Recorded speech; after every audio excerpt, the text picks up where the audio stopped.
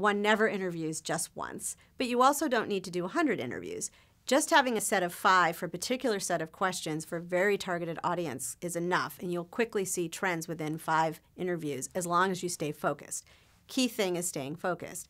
If you have multiple questions or the demographics or other characteristics of who you're interviewing are quite different, then you need to do more interviews. The goal is to be very tight, very narrow, very clear about what you're trying to get out of each particular set of five.